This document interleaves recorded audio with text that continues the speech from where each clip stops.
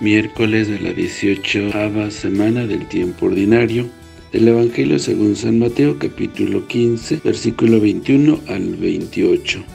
En aquel tiempo Jesús se retiró a la comarca de Tiro y Sidón. Entonces una mujer cananea le salió al encuentro y se puso a gritar, Señor, hijo de David, ten compasión de mí. Mi hija está terriblemente atormentada por un demonio. Jesús no le contestó una sola palabra, pero los discípulos se acercaron y le rogaban, «Atiéndela, porque viene gritando detrás de nosotros». Él les contestó, «Yo no he sido enviado sino a las ovejas descarriadas de la casa de Israel». Ella se acercó entonces a Jesús y postrada ante él le dijo, «Señor, ayúdame». Él le respondió, «No está bien quitarle el pan a los hijos para echárselo a los perritos». Pero ella replicó, «Es cierto, Señor, pero también los perritos se comen las migajas que caen en la mesa de sus amos».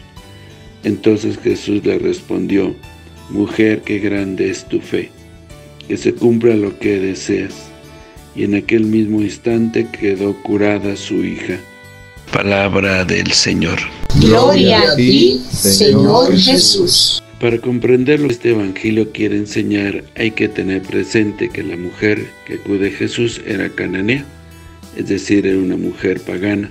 Sucediera o no sucediera esto tal como se cuenta, el hecho es que en Jesús se produce un cambio, el paso del exclusivismo religioso a la aceptación y el elogio de la fe de quien vive otra religión. Por tanto, Jesús representa el fin del exclusivismo religioso, que no es solamente la aceptación o de la tolerancia y el respeto a quien tiene otras creencias y otras prácticas religiosas. Es sobre todo el elogio de quien tenga las creencias que tenga, tiene la profunda humanidad que se manifiesta en el cariño a su hija, la preocupación por ella, la bondad del que soporta un rechazo humillante y sobre todo la fe confianza en Jesús, es decir, fiarse de quien puede poner fin al sufrimiento. Jesús no le pidió a la mujer que cambiara de religión, Jesús solo se fijó en, la humanidad de aquella madre. Tras los gritos de angustia de la cananea, Señor, ayúdame, expresión de una fe que surge de la pureza del corazón, se entabla un diálogo entre Jesús y la cananea, en presencia de los discípulos, quienes querían despedirla como una intrusa que no merecía la atención del Maestro.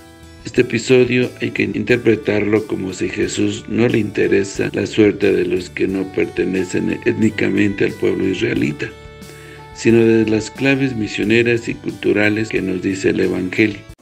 Este video ha llegado a ustedes gracias a Campusano Móvil, donde ofrecemos los servicios de desbloqueo, activación y reparación. Te activamos y reparamos el software de tu celular, tablet o computadora. Además, vendemos todo tipo de accesorios y recarga de todas las compañías. Vendemos tablets, celulares y computadoras. Estamos ubicados en la calle Sánchez número 10 en el ensanche Altagracia de Herrera. Teléfono 809-530-7327. Con su administrador, Jack Michael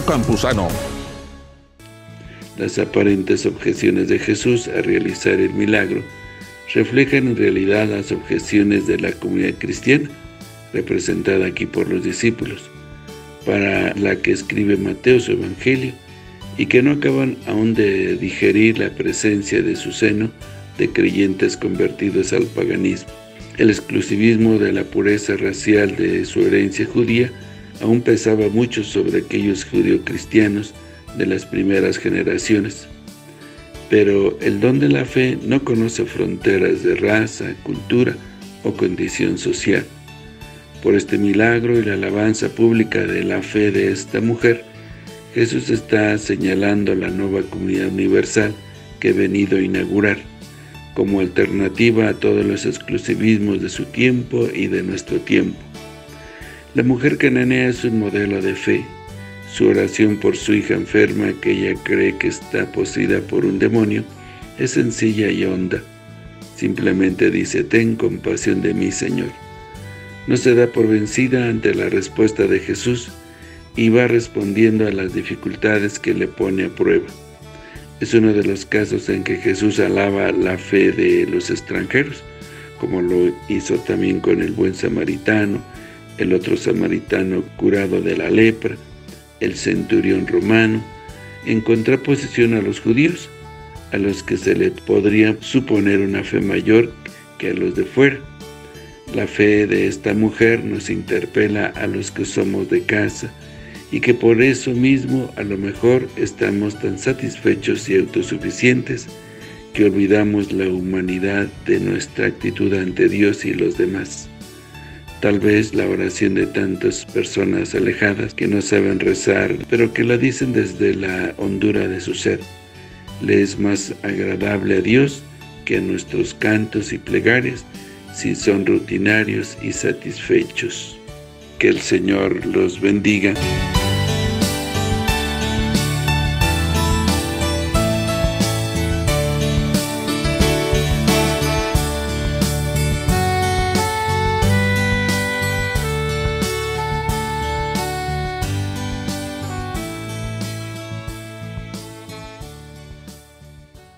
La bendición de Dios Todopoderoso, Padre, Hijo y Espíritu Santo, descienda sobre ustedes, que los acompañe siempre. Que el Señor los bendiga. Si te gustó este video y deseas seguir recibiendo el Evangelio, misa en vivo, oraciones y muchas reflexiones más, ayúdanos a seguir creciendo. Suscríbete a este canal de YouTube. Activa la campana de notificaciones. Deja tu comentario.